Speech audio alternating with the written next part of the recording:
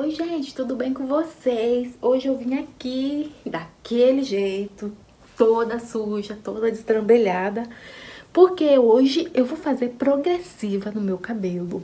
Selagem progressiva, o que você achar.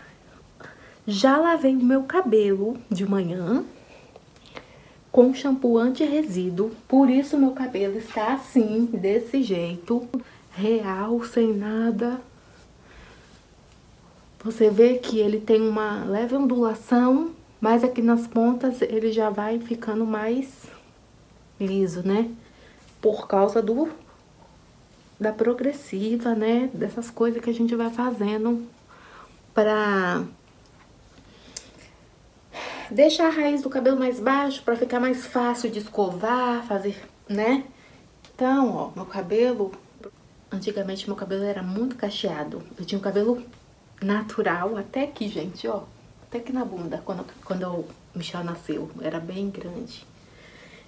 Então, depois de um tempo, eu comecei a fazer mechas, luzes, a estrutura do cabelo muda. Hoje, não sei dizer o que que é o meu cabelo hoje, eu não sei. A raiz dele começa a ficar mais fofa, né? Então, eu só passo na raiz mesmo, gente. Eu, só o restante vai vir para as pontas. Eu vou mostrar para vocês.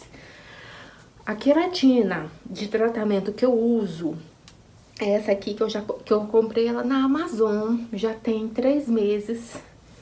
É, eu acho que é três meses que eu fiz. Por aí. Tem, fala que tem óleo de argan, óleo de abacate e jojoba.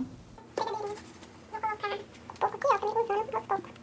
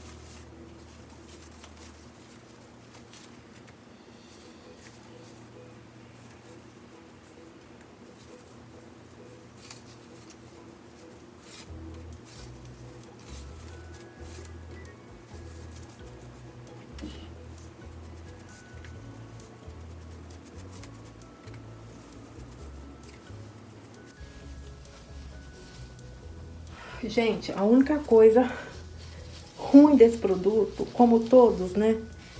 É o cheiro. Precisa fazer no lugar aberto.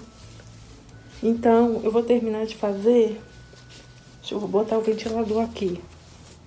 Porque o cheiro arde mesmo o, o olho. E não é bom, né? Você ficar sentindo muito cheiro que eu vou botar uma máscara e ligar o ventilador.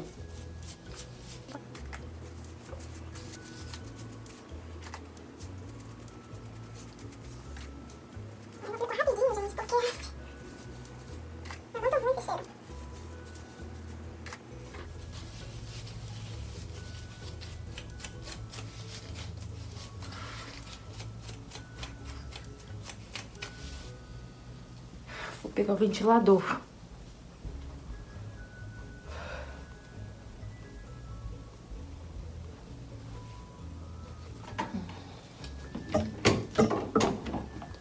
Esqueci que o ventilador tá aqui já.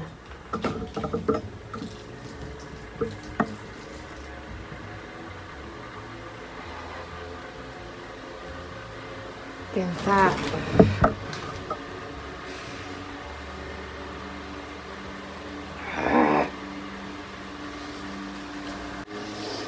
é a única coisa que deixa meu cabelo mais baixo, entendeu? Não é pra alisar, é pra tirar o volume, sabe, da raiz. É mais por causa do volume, não é nem pra alisar, porque meu cabelo não é tão, não é cacheadinho, né? O problema é o volume.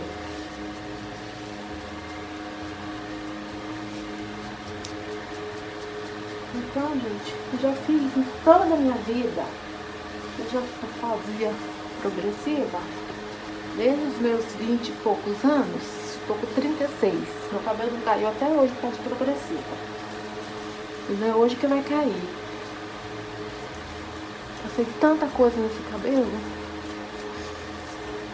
Não é hoje que o cabelo vai quebrar por causa de progressiva. Meu cabelo já quebrou por causa de descolorante. Descolorante cair no mesmo lugar que já tá loiro, já partiu meu cabelo. Mas, por causa de progressiva, nunca.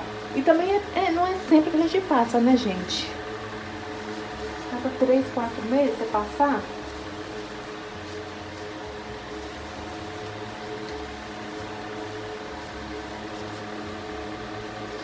No Brasil já usei Maria Escandalosa, é forte pra caramba. Já usei Portier.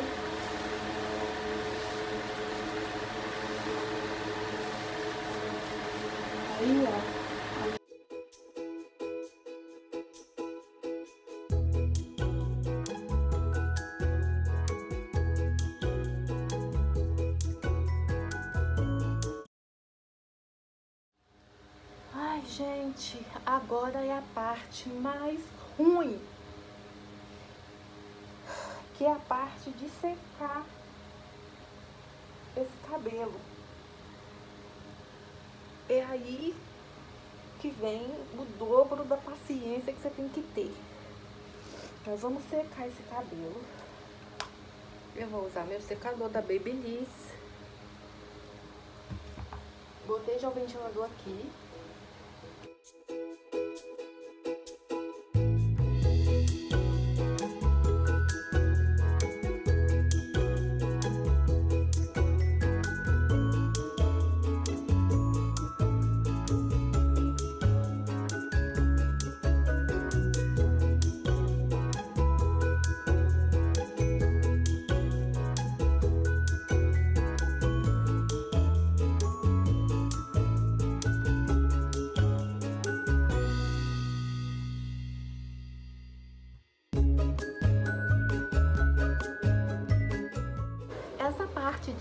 Secar o cabelo, de secar o produto no cabelo, é tão importante quanto a passada depois da prancha para terminar de selar esse cabelo. Então, gente, eu vou voltar depois com o meu cabelo já espichadinho e depois eu vou passar a prancha, vou mostrando pra vocês, passo a passo, tá, gente? Eu não tô chorando, tá? Que meu olho tá saindo água por causa do produto.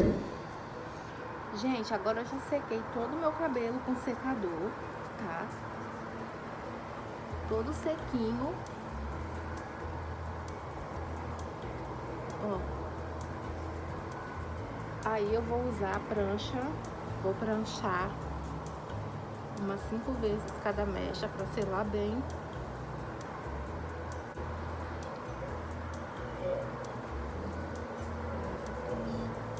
Mechinhas fininhas. Vou começar por trás.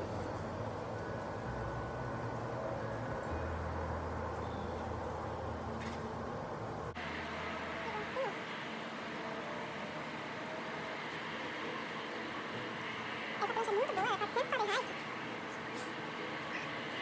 Então acho que eu nem vou passar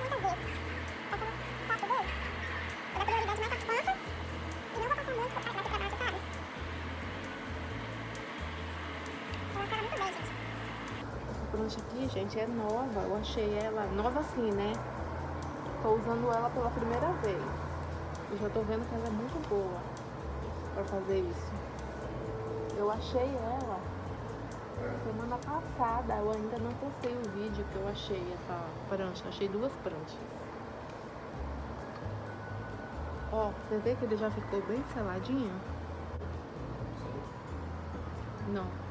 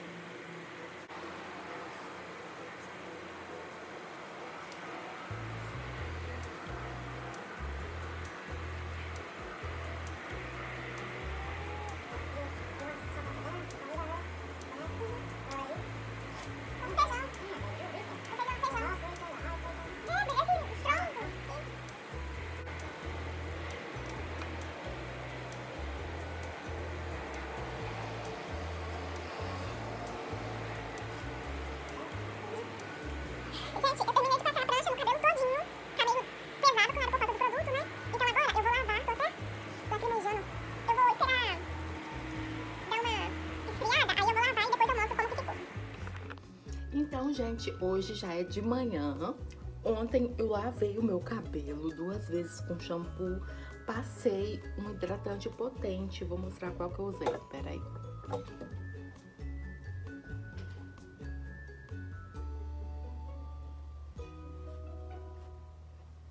Depois que eu fiz a prancha, tudo direitinho, lavei meu cabelo bem lavadinho, pra tirar o cheiro, ainda tá um pouco. E usei esse Joico aqui, ó, bem hidratante esse daqui. E, e deixei meu cabelo secar naturalmente, só dormir. Você vê que ele aqui, ó, tá bem ondulado, mas não é intenção de ficar liso. Olha a minha raiz como que tá, gente. Tá muito mais baixinha. Minha raiz, ó. Muito baixinha. Ó, essa é a intenção de deixar a raiz baixinha, tá vendo? Isso que eu queria. Fica muito mais fácil de você fazer uma escova. É isso mesmo, ó. Fica muito mais soltinho. Agora eu vou fazer a escova só com secador pra ficar mais bonito. Aí eu vou mostrando pra vocês. Vou só dar uma modelada nesse cabelo. Não lavei o cabelo de novo, tá? Só molhou as pontas aqui, que eu tomei banho. Deu uma molhadinha nas pontas. Ó, eu não vou ter nenhuma dificuldade pra secar esse cabelo. Olha como que ele tá bem mais soltinho, gente, ó. Isso aqui é o ondulado do meu cabelo. Mas ele tá soltinho. Aí, se eu quiser lavar e deixar secar naturalmente, o meu cabelo não vai ficar aquela coisa né? Ele vai ficar mais solto. Então, ó, por isso que eu gosto de fazer a selagem.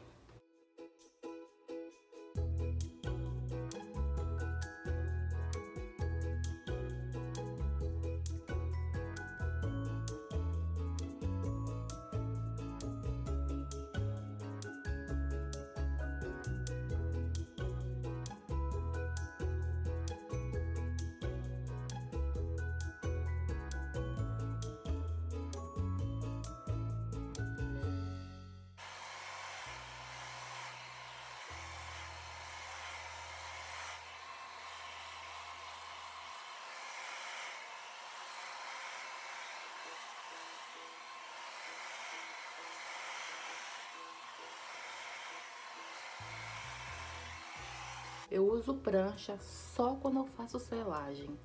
Faz muitos anos que eu não uso mais chapinha.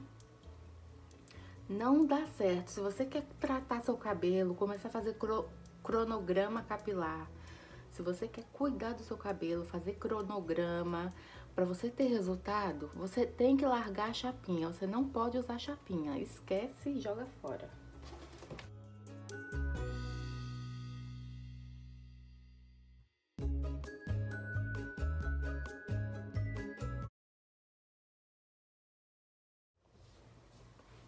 Terminei. Agora eu vou passar um reparador de ponta nesse cabelo. Vou usar esse daqui, gente, que é Sebast Dark Oil. É um óleo muito bom, muito levinho. E o reparador de ponta é bom e ele hidrata, né? Já trata, já tira aquelas pontinhas, já deixa mais bonito. Tem que usar, né, o reparador de ponta. Então, gente, assim que ficou esse cabelo, olha. Fique com Deus. Tchau.